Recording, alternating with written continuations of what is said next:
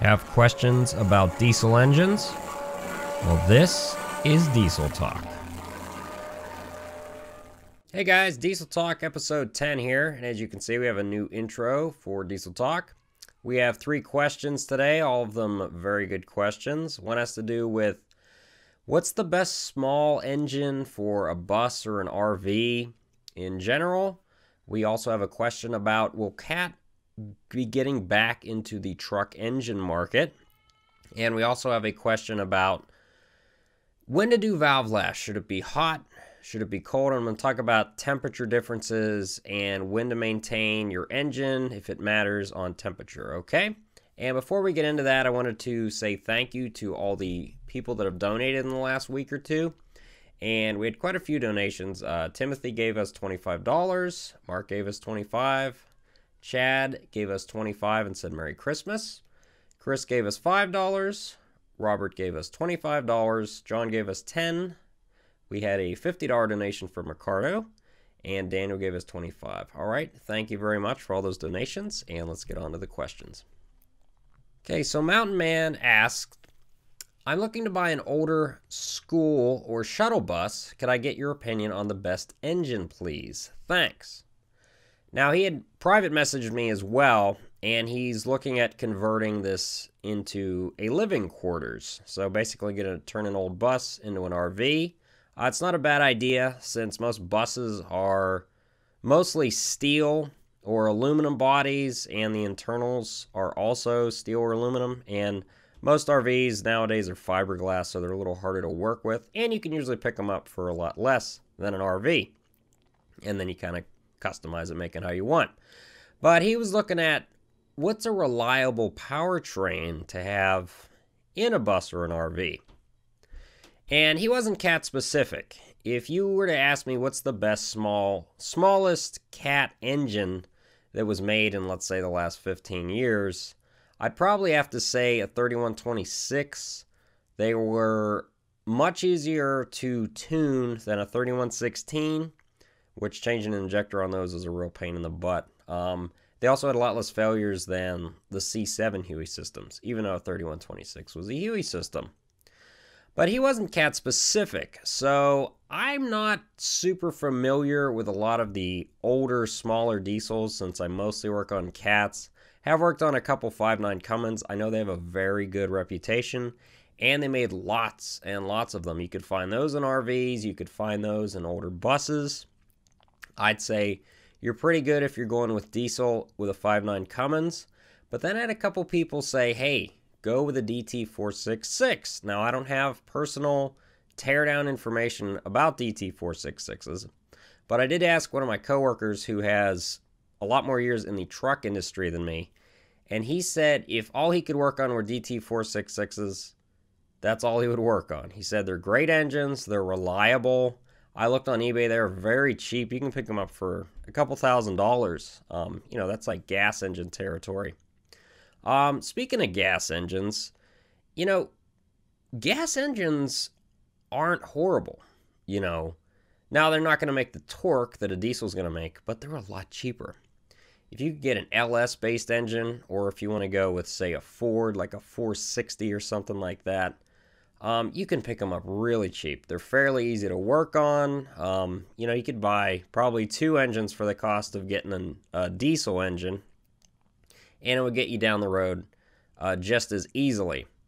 Um, so, what's the best engine? Well, there is really no best engine. I would say from the guys I talk to, you know, if you want to go diesel route, I'd probably say maybe try the DT 466. That's an international engine. Um, Cummins 5.9 has a pretty good reputation. If you wanted to go cat, I'd say a 3126. Uh, out of the somewhat recent engines they've made, that's a pretty good small engine. Um, you know, but also don't exclude gas engines. You know, you can pick them up for a lot cheaper than a diesel typically, and uh, they're usually cheaper to repair as well. Okay, that was a good question, Mountain Man. Now, our next question is do you think Cat will ever build truck engines again? Do I think Cat will get back in the market? I do not personally think they will, but that doesn't mean they won't. Let's talk about why they might. So, Cat's getting a new CEO in January. The current CEO, who's been in charge from 2010, is stepping down in 2017 in January. And new CEO might say, hey, why are we out of this market? Now, this market's kind of tied up, obviously, because, you know, PACCAR kind of doing their own thing. Uh, Cummins has a huge percentage of the market. International, um, you know, Detroit, Mercedes teamed up. You know, it'd be a hard market to get back in since you don't really have the engine options you used to have where like oh i want a peterbilt you could get it with a cummins or you get it with a cat you know you, you don't really have the choices anymore. But cat you have to realize is a huge company. Um, cat is the largest diesel um, company overall. They are larger than cummins and navistar which navistar is a parent company international combined. Now obviously navistar and cummins are more specific in that, you know, they don't really make, you know, huge haul trucks and mining equipment as CAT does. A lot of CAT's market share is in mining and earth moving. But CAT has the capital if they wanted to to get back in this market. Will they? I don't know. It's uh, it's an interesting premise. You know, I'd say we'll see in January. Maybe we'll hear an announcement in you know in the spring or something that maybe the CEO, the new CEO, is like, hey, we would like to get back in the market. Uh, that would be nice. I would really appreciate if they get back in the market, but obviously he's probably not going to call me and ask me for my advice on whether he should get back in the market. But just uh, you know, maybe read your truck engine news and stuff. Uh, the beginning of next year, maybe there will be an announcement about it. Um, guess we'll find out. So, last question. And it was asked by Chris. And he, I have a couple valve adjust videos, and I should have specified in the videos because he asks on valve lash adjustments, does it matter if the engine is warm or cold? Did not hear a comment on uh, cold or operating temp lash feeler gauge thickness. Your videos are just awesome. Keep up the great work. So, yes, it does matter. And here's why. So, most people know that metal contracts or restricts based on temperature. And so, when you do a valve lash adjustment, at least on a cat, it always has to be dead cold. You don't want that engine to have ran, hopefully, that day. You want it, all the components to have cooled down, to be all universal temperature. Not only that, if you try to do one hot, which you know sometimes a guy will come in, he wants his injector done. Hey, just check the overhead. Um, you know, that's a real. Those parts are really hot when doing a hot engine overhaul or a, a quick repair. Um, so it makes it not really dangerous, but you know it's it's pretty hot to try and handle those components when it's hot. But Cat recommends only doing valve lash adjustments when it's cold, and that's on all their truck engines. Um, now the valve lash isn't the only thing you want to be doing when it's cold. Um, you know, most repairs you want to do when it's cold just to prevent burning yourself. If you're doing a coolant, anything with coolant or oil, if it's super hot, obviously you can burn yourself.